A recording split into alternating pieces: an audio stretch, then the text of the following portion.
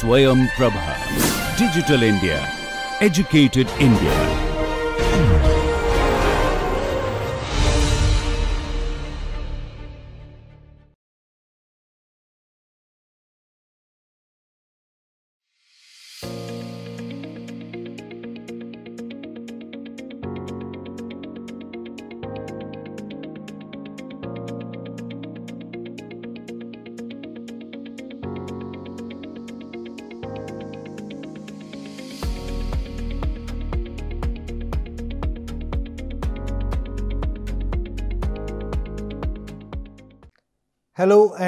Welcome to lecture 54.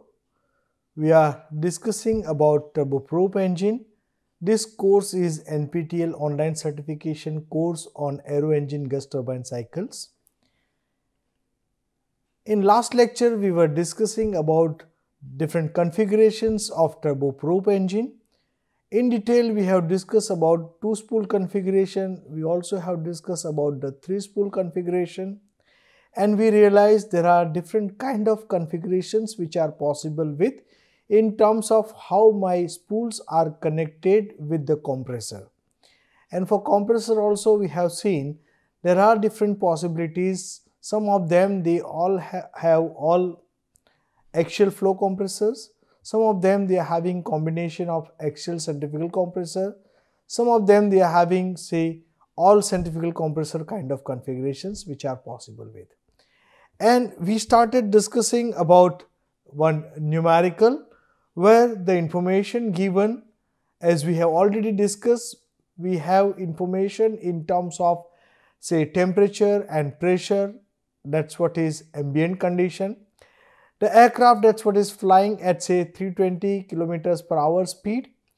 We have our efficiencies in terms of propeller efficiency compressor efficiency.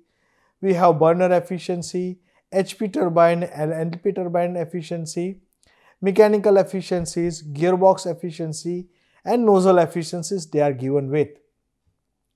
The core mass flow rate also is given that is 2 kg per second. One important parameter given here is inlet total pressure recovery factor. So, just remember one thing what all numericals we have solved as we have discussed in our week 2, we have different configurations possible with different kind of terminologies which we are using for the intake.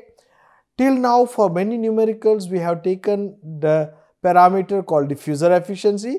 Here in this case it is given with total pressure recovery factor. So, it is a different thing. Okay. Same way the maximum turbine entry temperature that is given with calorific value of the fuel is given and power split that is alpha is given 0.95 and we want to calculate what will be the performance parameter of this engine. And based on this configuration, we can plot the line diagram and we can put different stations here. This is what all we have discussed in our last lecture also. So, we can put different stations, be careful what all numbering you are doing here on line diagram for the engine Similar kind of numbers you need to put on your TS diagram to avoid any kind of confusion or any kind of misconception. Be careful about this part. Okay. Then we have given the hint where we have discussed what all we will be calculating in order to calculate say exit pressure and temperature from different components. We will be doing all our calculation till nozzle because that's what is very important for us in order to calculate the thrust. Then at the same way we can calculate other parameters which are defining the performance of this engine. So let's start with, so very first component we have is our intake. For intake, since it is flying at certain altitude where static pressure and temperature they are given with and it is flying with some Mach number.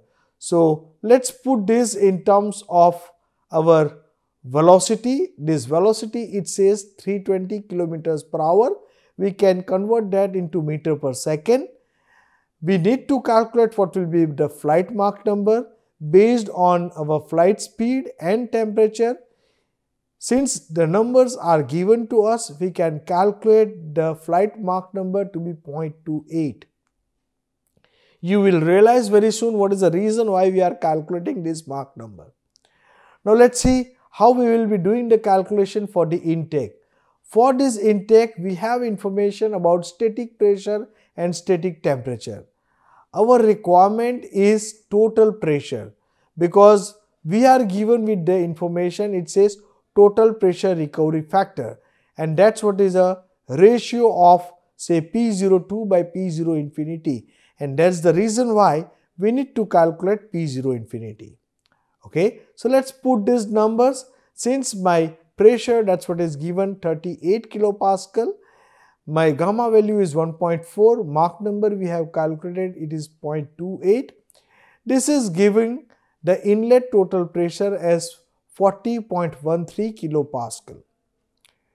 Now since we have information about diffuser pressure recovery factor it is 0.98 let's put this it's a ratio of p02 by p0 infinity if we put these numbers, it says our exit pressure is coming to be 39.32 kilopascal. So this is the pressure with which flow is entering inside the compressor we can say. Now temperature we can calculate it is T infinity into 1 plus gamma minus 1 by 2 m infinity square.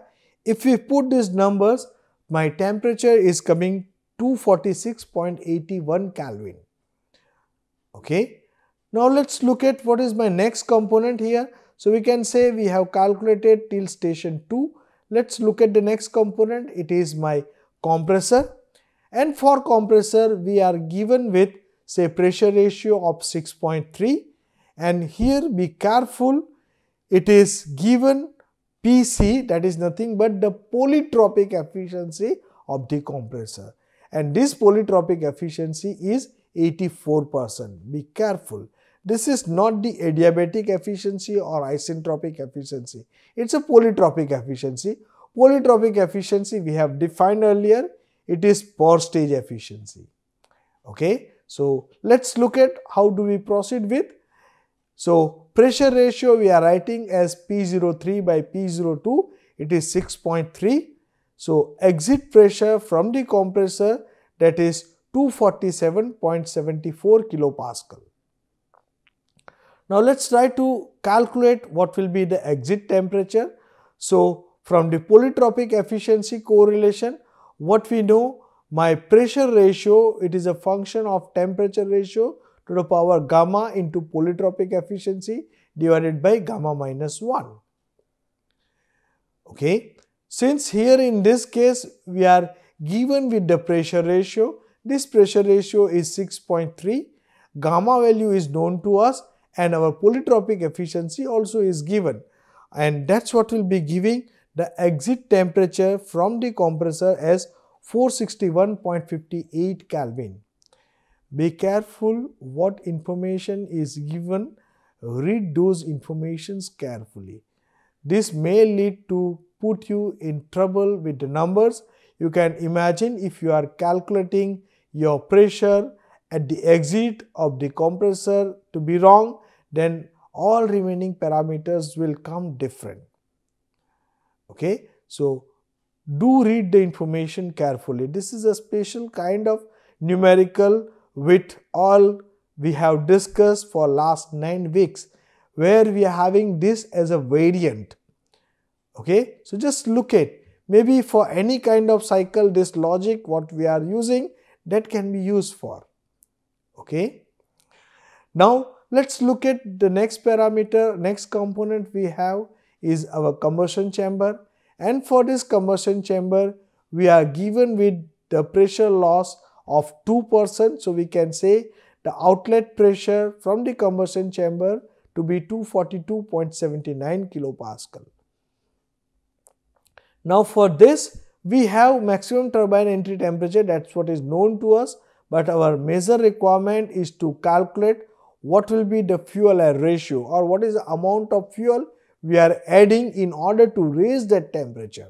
So here in this case if we will be writing our energy balance equation that's what we have done repeatedly for number of cycles what all we have solved with and what all cycles we have discussed.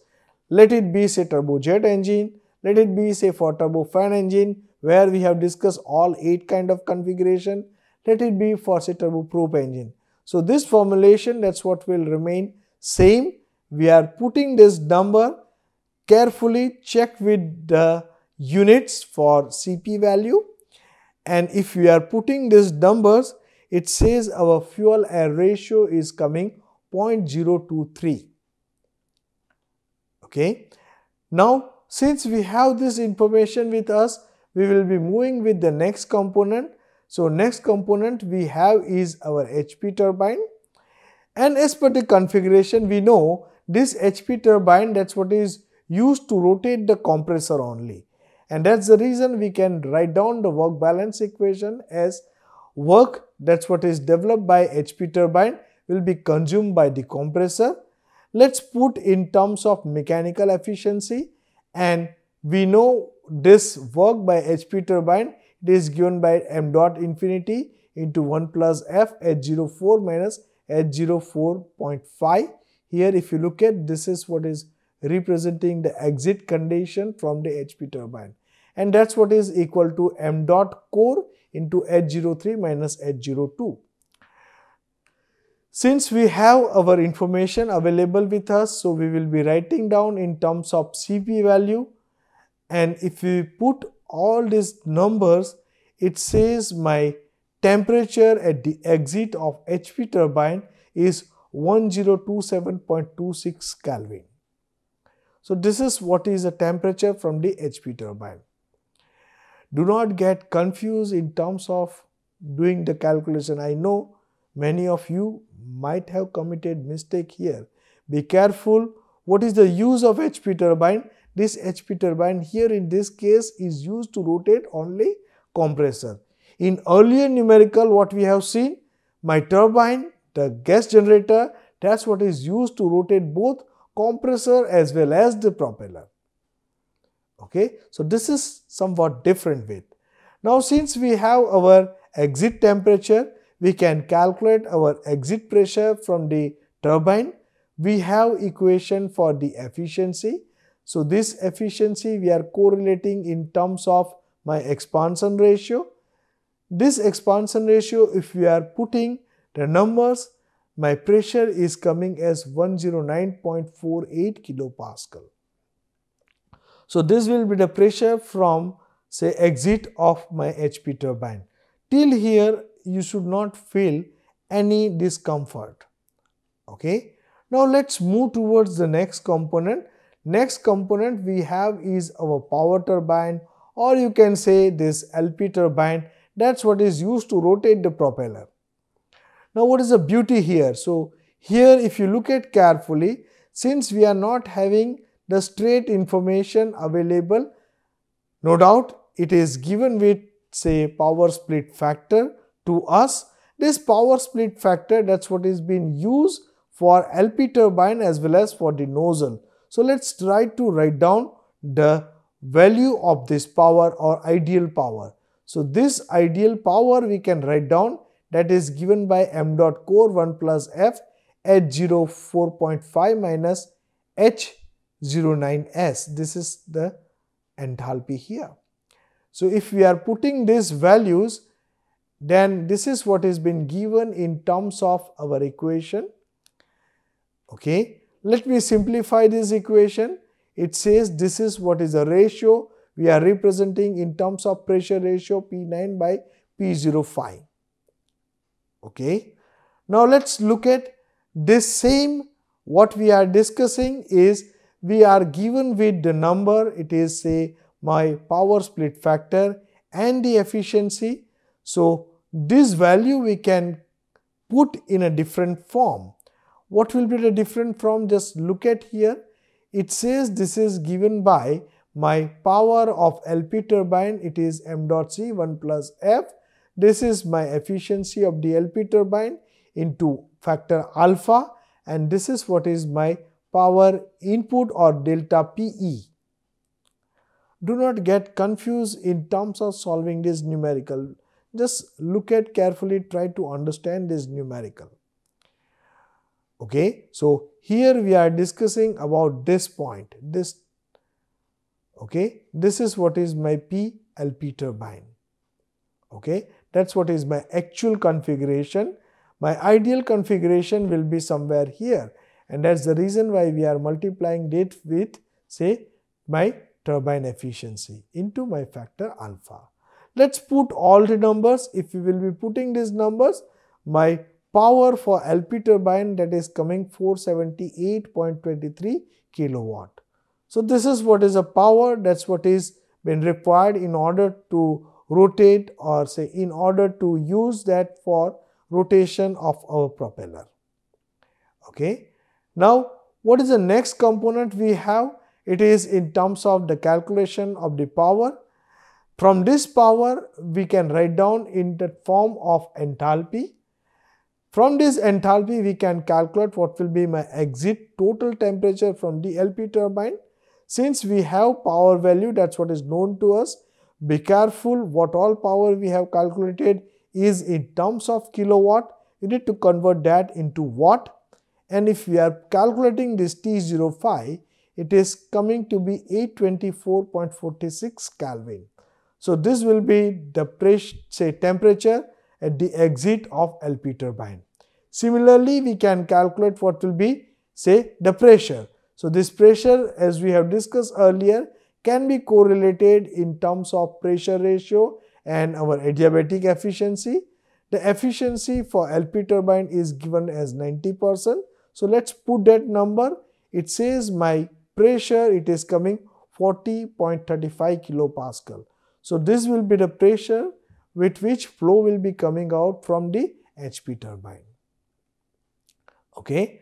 Now, let us look at the next parameter what we have is our nozzle and for nozzle what all information we have is the entry condition it is known to us for the nozzle.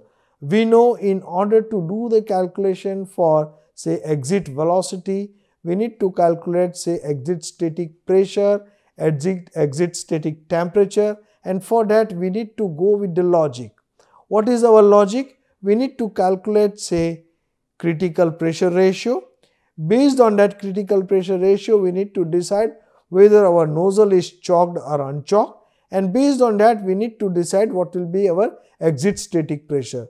So, here in this case my critical pressure ratio it is given in terms of nozzle efficiency. This nozzle efficiency is given 98 percent. Gamma value for the gas it is given 1.33. Based on that we can calculate the critical pressure. This critical pressure if we look at that is coming to be 21.5 kilopascal. This critical pressure is lower than that of our atmospheric pressure. So, we can say this nozzle is unchoked nozzle and what will be our exit pressure? This exit pressure will be our ambient pressure and that is what we are taking as say 38 kilopascal. Okay. Now, based on that we can calculate our exit velocity. This exit velocity that is given in terms of my pressure ratio. So, if we are putting these values it says exit velocity is coming to be 165.93 meter per second. Okay. Now, since this exit velocity is known to us, we will be calculating what will be my 9i. What is that and why we are calculating? Let us look at what is the reason behind that. Here in this case, we can write down my ideal condition that is what is isentropic process that is given by T05 by T9i. It is in terms of my pressure ratio. So, that is what will be given my 9i condition and from our efficiency correlation for the nozzle, we can write down the efficiency is given by H05 minus H9 divided by H05 minus H9i. There is a specific reason behind it because what all we have calculated it is our ideal power. We are talking about delta Hi and that is the reason why this I 9i point that is what is very important. So, let us try to calculate the point 9 because this point 9 that is what is representing my exit condition from the nozzle. So, if we put these numbers my exit temperature is coming 813.50 Kelvin. Once we have this, we can calculate our exit Mach number and flow exit Mach number is coming 0.3. It is a subsonic condition. Okay. Now, we are of major interest in terms of performance parameters. So, let us recall what all are the performance parameters from the say turboprop engine. We are interested in thrust, both the thrust say propeller thrust as well as core thrust if it is there. We are interested in say thrust specific fuel consumption or equivalent specific fuel consumption based on power we are interested in calculating what will be the thermal efficiency, what will be our say propulsive efficiency and what will be our overall efficiency. So, let us try to calculate first the propeller thrust. This propeller thrust as we know it is represented by T into V that is what is equal to this efficiencies into say power into say into LP turbine power. So, if you go through our earlier lectures where we have discussed about the efficiency terms. That's what is starting from say turbine to compressor, from compressor to say gearbox and from gearbox to the propeller. That's how these all terms they are coming with. Okay, so do not get confused here. So these all efficiencies they are known to us. So we can calculate what will be the thrust generated by this propeller. And if we are calculating that, the thrust generated by the propeller it is coming to be 4.21 kilonewton. As we have discussed in earlier class, this propeller thrust can be calculated by many ways. It's all depend on what all configurations we are having and how people they want to do their calculation. They already exist with the propellers, they want to fit a specific kind of propeller, then propeller characteristics are important Based on that propeller characteristics, they will be calculating what will be the power requirement and based on that also you can calculate what will be the thrust requirement. Okay. But for this course dedicatedly, we will be calculating based on these fundamentals only. Okay. Now let us move towards the next thrust. We are not having any information, but if we look at it says our exit velocity is coming to be 165.93 meter per second and we know that's what is not a small number. If it is not a small number that means there will be contribution by this core engine nozzle also and that's the reason why we will be calculating the thrust contribution by this core engine and if we put that it is given by m dot core into 1 plus f v exit minus v infinity okay and that if we are calculating this number anyway it is coming to be lower 161.73 Newton and total thrust we can calculate that total thrust is coming to be 4.37 kilonewton. Okay. Now let us look at what we mean by propeller power. This propeller power that can be given in terms of efficiency term, it is a gearbox efficiency into mechanical efficiency of the LP turbine and power that is what will be generated by the LP turbine. If we will put all together, it says power required to rotate this propeller, it will be 450 kilowatt. Okay. And if we calculate say power that is what will be produced by the core engine, that is what is given by T core into V infinity and that is what is 14.4 kilowatt. There is a specific reason behind calculating this power. Okay, let's see what all are the requirement because since this is what is a power generating device, we are using this device or this engine for the generation of power that power we are using for the rotation of the shaft and that's the reason why here we need to calculate equivalent shaft horsepower where we have contribution because of both propeller as well as with the exhaust nozzle. So here in this case this is given by one of the relation here. If you recall, we have discussed this in very first lecture for our calculation. So, let us put these numbers. If we are putting this number, we have some different parameter. One of the parameter that is to convert the kilonewton to the pound force. Same way meters per second to miles per hour. Okay. Same way kilowatt to HP. These all are the conversion factors and if you are calculating it says my equivalent shaft horsepower that is given by 626.77 HP. Many times people they are putting that in terms of kilowatt also which is multiplied that with 0.746 and that's what is coming to be 6 467.57 kilowatt. Okay. Now this is what is equivalent shaft horsepower. Now let's look at the next parameter. Here we know when we are having say turboprop engine or turbo shaft engine, we are calculating the specific fuel consumption. This specific fuel consumption we are putting as equivalent specific fuel consumption. Sometimes people based on the thrust they are writing thrust specific fuel consumption. Since we have calculated thrust that's what is generated by propeller as well as by the engine that's the reason why we will be putting that in the form it says thrust specific fuel consumption it is given by 50.52 milligram per newton second. Okay.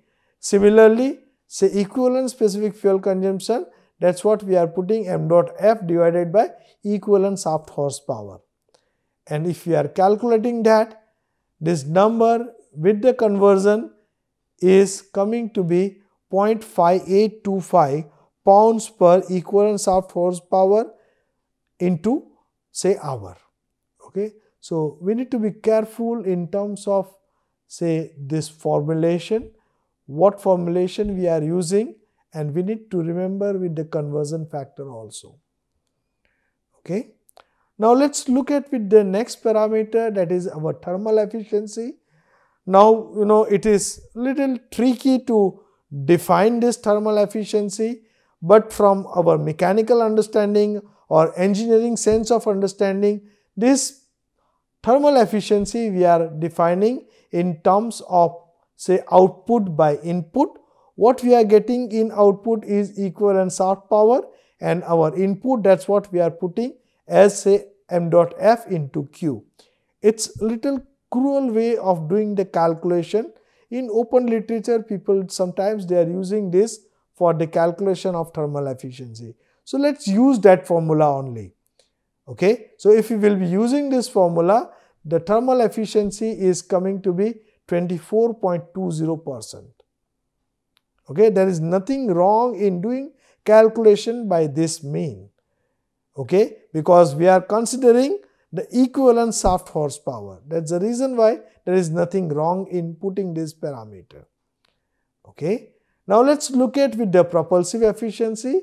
What we mean by propulsive efficiency? It is in terms of T into V infinity divided by equivalent shaft power this total thrust we have calculated, our flying speed is known to us and equivalent shaft power is also known to us. It says my propulsive efficiency to be 83.07 percent. Okay. Now, let us look at the important parameter in terms of overall efficiency. Here if you look at you will see overall efficiency I am putting by two different ways because literature says like overall efficiency can be defined in terms of propeller efficiency into thermal efficiency. One other definition it says my propulsive efficiency into thermal efficiency. So let's try to look at these numbers.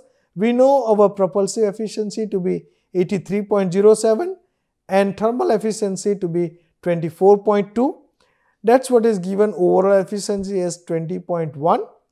Similarly, if we do the calculation our propeller efficiency is given 82 percent. Thermal efficiency we have calculated as 24.20 percent and it says overall efficiency to be 19.84 percent. So, here you know it's little tricky to understand and put the numbers. Somewhere at initial stage of discussion I say whenever propeller efficiency is not given you can assume that efficiency to be 80 percent. Okay. So, these are the ways to calculate our overall efficiency also. Now in overall sense if we put this is what is our cycle and for that cycle under the cruise condition we have done our calculation for the net thrust, we have calculated equivalent shaft horsepower, we have calculated equivalent specific fuel consumption, then we have calculated our say propulsive efficiency, thermal efficiency and overall efficiency. Okay. Now with this understanding we have you know idea like how we can do the calculation for turboprop engines.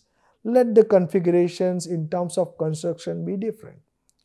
Now let's look at very old fashioned what all we were discussing saying like what all are the performance parameter and how or what parameter they are depending on. Say for turboprop engine important parameters are propeller thrust, nozzle thrust, propeller power, fuel air ratio, equivalent specific fuel consumption, propulsive efficiency, thermal efficiency, overall efficiency. And let's look at what parameter it depends on. These parameters are what is my say compressor pressure ratio or overall pressure ratio, turbine entry temperature, what is my power split factor, efficiencies of different components, we have our ground condition or the flight condition. So, all these parameter that's what is affecting the performance of say turboprop engine. So, let us try to look at one by one. Let us take very first parameter as a pressure ratio. Let me put the plot here. It says this is representing my pressure ratio versus thrust. This is our design point and if we look at carefully it says with the increase of pressure ratio our thrust that's what is increasing okay and this increase of thrust that's what is correlated with what all we have discussed in terms of our power. Okay what will be the power available for say HP turbine power available for LP turbine and it also depends on what will be say exhaust thrust okay suppose if I consider say next parameter of our interest it is specific thrust we have discussed that's what is correlated in terms of airflow rate. Next parameter let me put as a thrust specific fuel consumption. It says with the increase of pressure ratio our thrust that's what will be increasing and that's what is giving the benefit in terms of decreasing the thrust specific fuel consumption.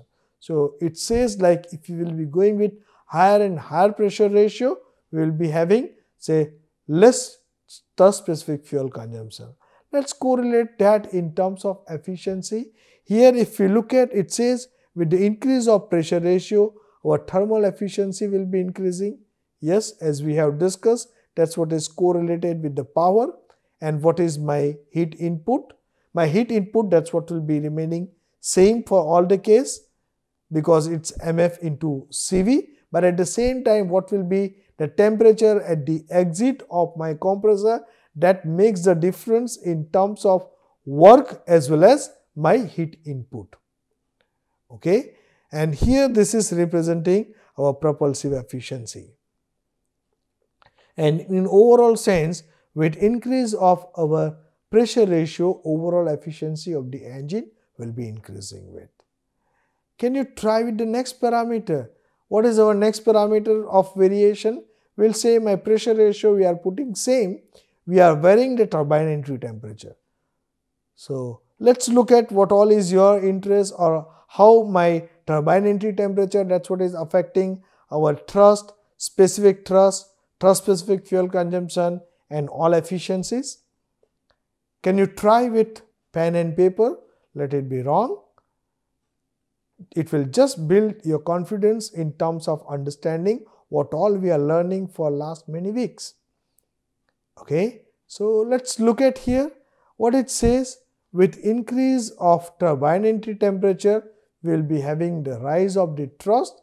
And this rise of the thrust that's what is correlated in terms of say both the thrust thrust that's what is generated by propeller as well as thrust generated by our core engine.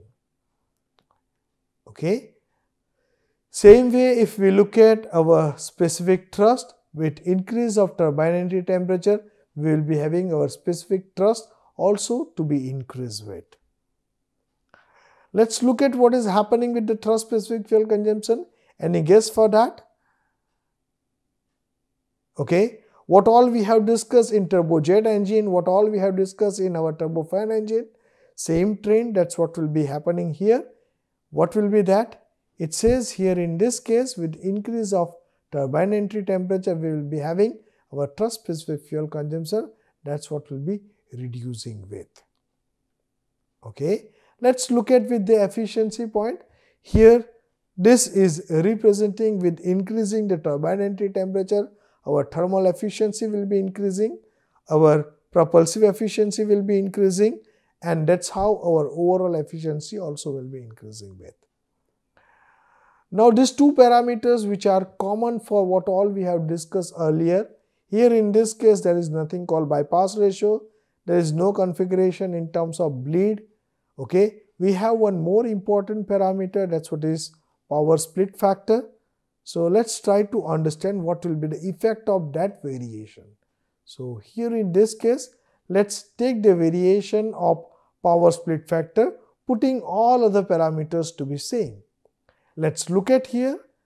If we look at carefully, it says with increase of power split factor, our thrust that's what will be increasing up to certain extent and then after that's what is falling down. What is the reason behind the falling down? That's what you can correlate based on this equation. This equation that's what is representing my alpha both by propeller and alpha that's what is because of my core. So, you know this is what is the summation of two thrust propeller thrust as well as my core thrust. Okay. So, after certain value of split factor there is no benefit in terms of increase of say total thrust. So, we need to be very careful in selection of this split factor. So, many times when we are doing our cycle analysis, we need to assume this number. There are different ways to solve the numerical. Suppose a power split factor for this numerical, that's what is given. If it is not given, you can assume also. Or you can say you are making your engine as we have discussed earlier. I don't want to generate any thrust by my core engine. I want to generate thrust only by the propeller.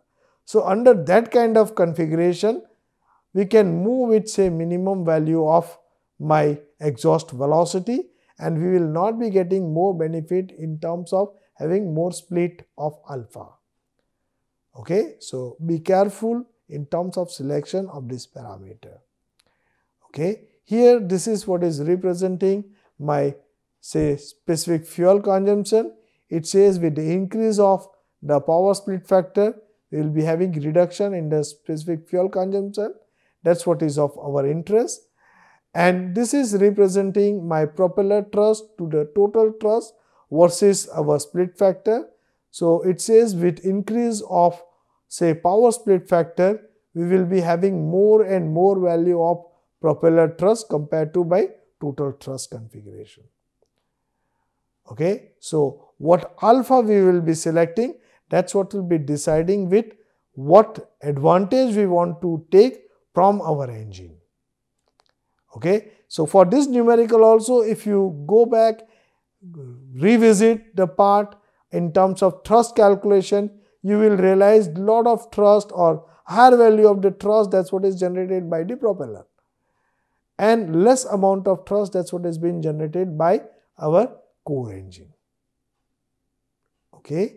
So that's what is depending on what is our requirement let's look at in terms of our efficiency. So here it says by increasing the split factor we will be having say reduction in the thermal efficiency but at the same time propulsive efficiency that's what will be increasing.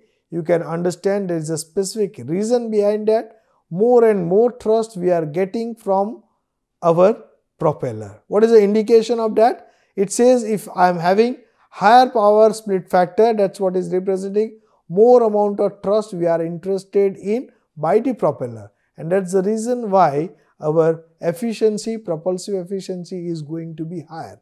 And in overall sense, it says my overall efficiency is not making much difference with the variation of split factor. So what is important?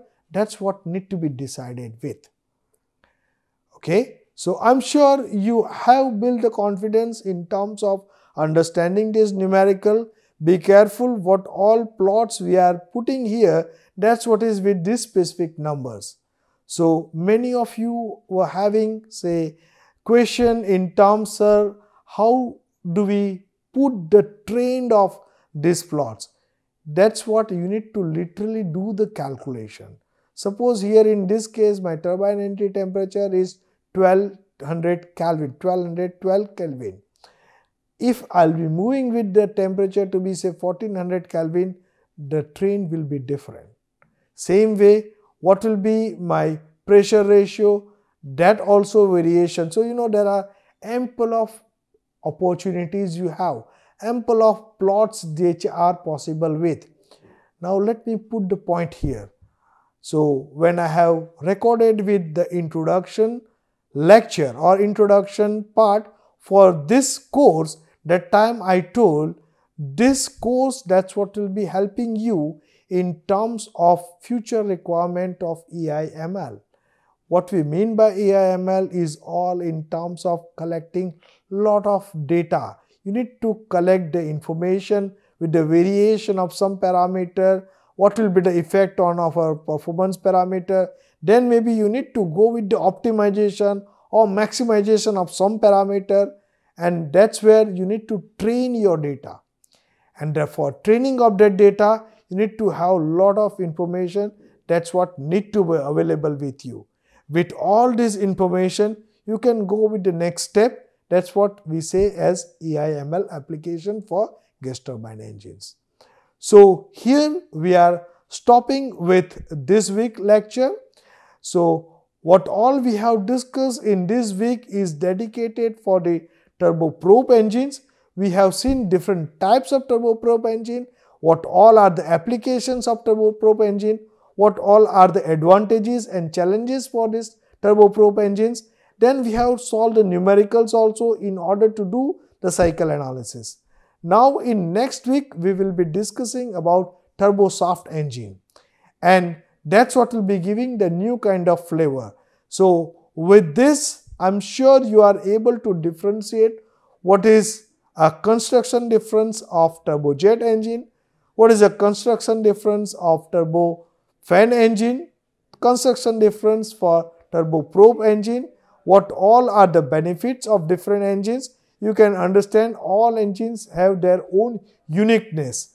They all engine have their specific applications and based on that the engineers they need to decide with airline companies they need to decide with aircraft manufacturing companies they need to decide with what engine need to be fitted with what aircraft. So here we are stopping with. All the best. Let's meet in the next week